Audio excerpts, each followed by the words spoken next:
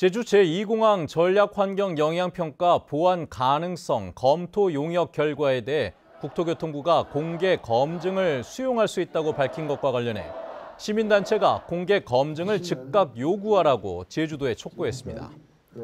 제주 제2공항 강행 저지 비상도민회의는 논평을 내고 원희룡 국토교통부 장관이 지난 21일 국회 국정감사에서 제주도민이 공개 검증을 원하면 응하겠다고 답했다며 도민의 자기 결정권을 약속한 오영훈 지사가 즉시 공개 검증을 요구하라고 주장했습니다.